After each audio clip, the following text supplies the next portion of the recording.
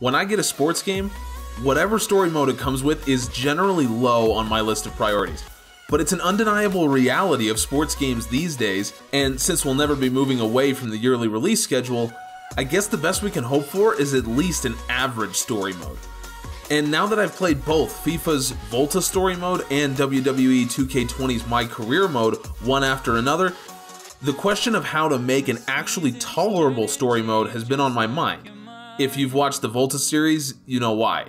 So today I've decided to take on that very question with the very good WWE My Career and the very bad Volta story mode as references. How do you make a good story mode in a sports game?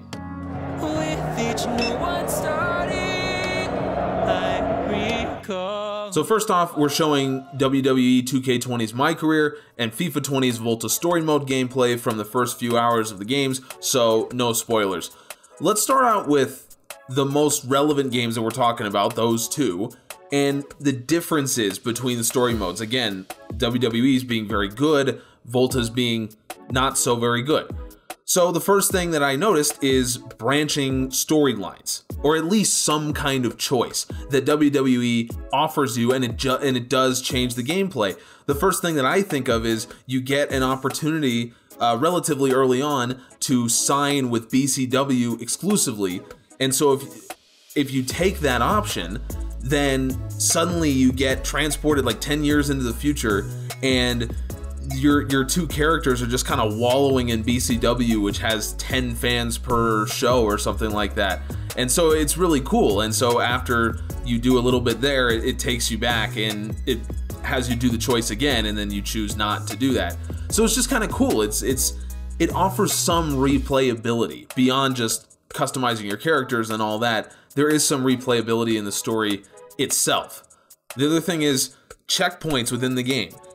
Volta had a real problem with this because every single thing that you did was a tournament. So if you lost at any point during a tournament you were playing, you had to go back and replay the entire tournament over again. So it leads to really an artificially long experience when it comes to Volta, not because the actual story itself is long or there's hours of cutscenes, it's just because when you're playing on a hard difficulty, sometimes you lose and then you have to go back and replay everything. And if you turn down the difficulty, then the game becomes not as fun, so why would you play it in the first place? The thing about WWE's My Career modes, at least for this year and the previous couple years, is that you only at most have to replay one match if you lose or if you don't complete an objective, which is tolerable. Certainly, probably the best way to do it. Uh, the main characters when it comes in the story if you can actually tolerate them and you actually care about what they're doing, and I will admit that when it comes to WWE 2K20's mode, at first they they come off as people that you don't particularly like, but they grow on you as the story progresses because they actually get a backstory fleshed out so you know who they are. Whereas in FIFA, you have a situation where you don't know your main character's backstory until like the second to last cutscene in the game, and then they just drop something on you, and you're like, okay, but I don't really care anymore. The characters also are consistent, whether it's your main characters, whether it's the main antagonist of the story, which I'm going to get to in a second, or it's just the periphery characters, they act consistently. And one thing that WWE does really well is it brings in a lot of current wrestlers to voice parts of the story. So it just lends itself to realism and, and to getting you in, invested because it's the real voices of these wrestlers that play characters. And then, of course, the antagonist. No story is complete without a hero and an antagonist. And the antagonist, if you've watched the My Volta series, you know that I cannot stand the quote unquote antagonist in the Volta series. And when it comes to WWE, the antagonist in that game is almost cartoonishly evil for a game about wrestling. And you know what? That's okay. It's okay for a reason that I'm going to get to. I don't mind if your antagonist is just a cartoon, some kind of caricature of a villain. That doesn't bother me. So before we move on, I just want to cover a couple more games that have story modes that I've played that I didn't like. To be honest with you, WWE 2K20's My Career is far and away the best story mode in any game that I've played to date.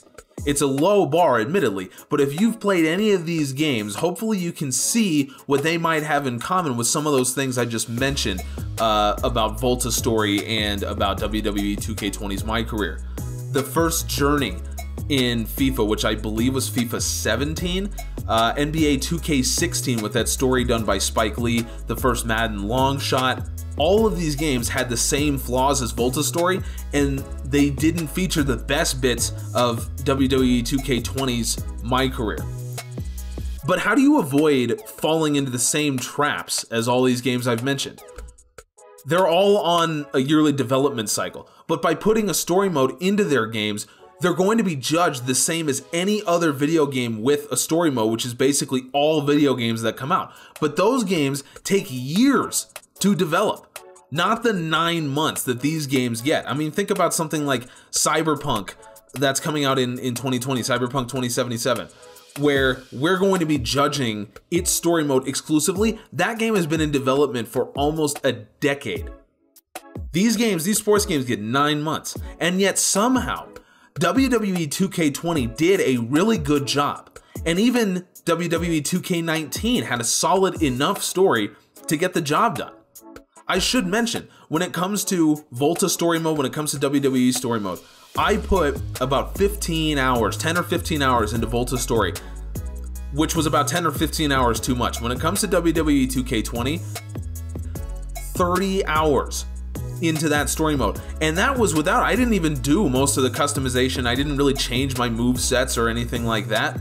In WWE 2K19, which was the first WWE game that I really played, I put in over 50 hours into that my career because I was doing the customization and the move sets and everything. Now, the fact that those games are wrestling gives it gives them a certain advantage over other sports because wrestling fans are conditioned to accept and expect certain things when it comes to storytelling. But we as gamers are also willing to accept certain things. And if FIFA or Madden want to step outside of the box and tell weird stories, gamers, I believe, are very much willing to indulge them in that. I don't believe that gamers are expecting just straight realism when it comes to their stories. So when it comes to telling good stories in sports games, I believe there are two paths to travel, so to speak. You can play it safe and tell a very by the numbers traditional sports story. We all love those when it comes to movies like The Natural, The Sandlot, Rudy, The Warrior, etc.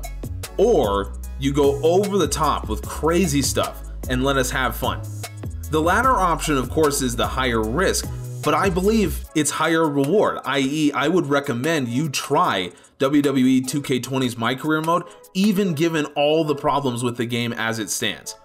And again, gamers will forgive many things if we feel there's innovation and risk taking, and we don't expect complete 100% realism.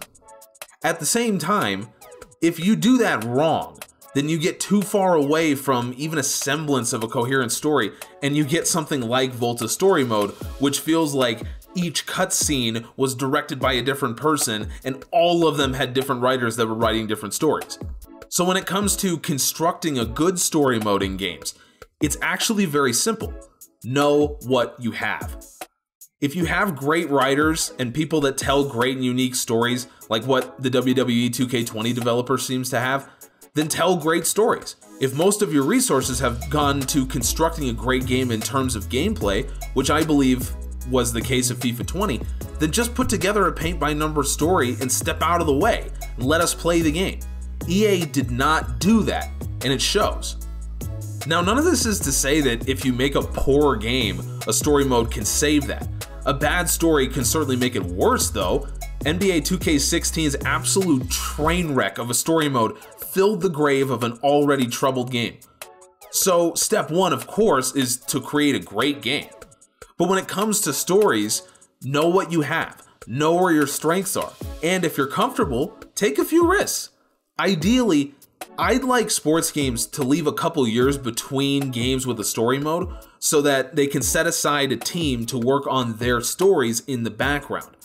But if we're going to have a fleshed out story mode every year with every release, I would humbly ask that it doesn't do such a poor job that I lose all desire to play the game in the first place.